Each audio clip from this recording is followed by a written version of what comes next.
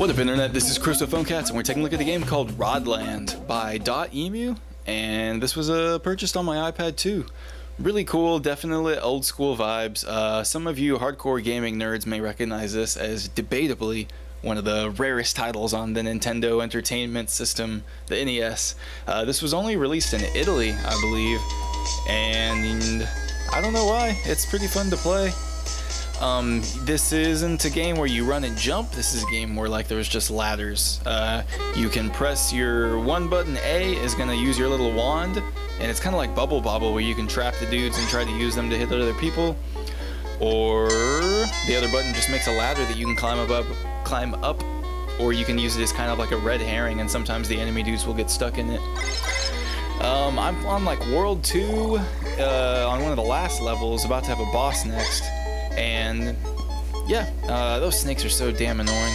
They like tilt their head back and do like a charge up thing and then move really fast, just like in Zelda on NES. And then those volcano dudes uh, poop out these little hydration burstlets that float upwards. And sometimes you get hit by those too. Um, if you're a points junkie, you want to get all the flowers before killing all the dudes. If you're the guy that just wants to get to the next level, um, then just kill all the bad guys. Oh god, that snake! Okay, so that's the pro way to do it. And sometimes if you are going for all the flowers, you'll need to just pick a dude up and drop him off on the other side of you. So yeah, this game has some strategy involved. Um, people that have been like playing it a lot, I want to know what you think, so definitely let me know in the comments because this is like a classic. Uh,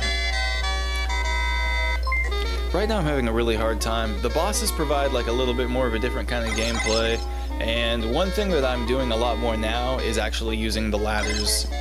You can see that when I'm playing right now, I hardly even use them, and that's like one of the primary functions in this game. And if you stand too close to the ladder, you can get ganked like that, like I just did. But really cool soundtrack, and the graphics are so like squarey and poppy and bright that, uh, I don't know, it keeps me entertained. And you're playing this little pink starlet who has a magic wand and is obsessed with flowers and I don't know, sees all these crazy things. It's a good game. Okay, I think this might be my like victory run, so bear with. Okay, I start to use strategy and I'm like, okay, uh, I'm tired of losing. I'm just gonna wait for these dudes to come down to my little pocket and then I'll just pick them off over here.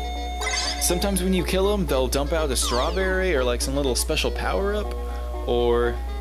Okay, did you see how both my dudes were just stuck in like an infinite loop on that ladder? So use your ladders strategically, because the computer is stupid. The computer is stupid! Finally! Ooh, and a little psionic ball bounce just to close this out with some style. Okay, I think that epileptic flash means that we have made it to a boss level, so if you're still with us, uh, glad to hear it. This definitely has some aquatic vibe to it. Oh my god. Okay, on this level, a whole bunch of baby whales come out of this mama whale. I didn't even know that whales had their vagina on top of their head, but that's fine.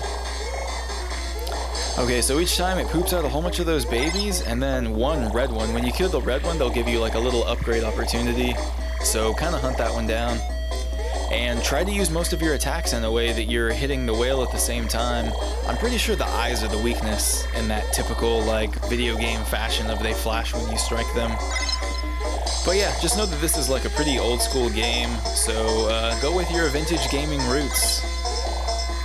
Most of the power-ups are kind of crappy. You can't really depend on that four ball thing to like clear the map. Opening up with some button spam, just trying to warm up, keep that thumb fresh, going carpal tunnel on them.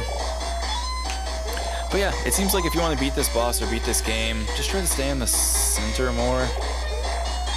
Oh god. I'm bad at games. I'm sorry. button spam. I don't know why I do it. Okay, I am in this thing's eye like a uh, pink eye, so I think this is going to be a victory run. With a power-up, and all four of those exploded on its eye, so this whale is done. Oh my god, you are dead, dude. The little whales are nothing more than annoying. Uh-oh, I must be getting to the end because he just did like a full frontal. Oh yeah, game over. Eat it. Eat it. 10,000 points, 3 stars, winner. Okay, we'll just do a Taste of World 3. We definitely already have some new bad guys in the mix, of course. Uh, let's see. And this one we got some little ducklets, chicklets, and those crabs. I did get killed by the crabs a lot, and then they do like a little crab dance that's really annoying. Every time that you die, whoever kills you does like a little cheeser dance, and it really pisses me off. I don't know why I get so mad playing these games. I can't help it. But yeah, pro tips, use the ladders, um, and get to safe zones, because right now I'm just still trying to beat this game. And when you do get all the flowers, this is what happens. Your, your bad guys turn red, and then you kill them, and then you get whatever the hell that was. It was like a million points. Two stars. Oh no, let's just see if I get crabbed. Uh, oh, and he does a little crab shimmy. A crab shimmy? Shimmy, shimmy, crab pop, shimmy, shimmy now? Ooh, look at that stare dodge. I'm not like I don't know what I'm doing. Okay, that's it for this episode of Phone Cats. Uh, do the usual stuff. Like this video, comment. Yeah, Phone Cats.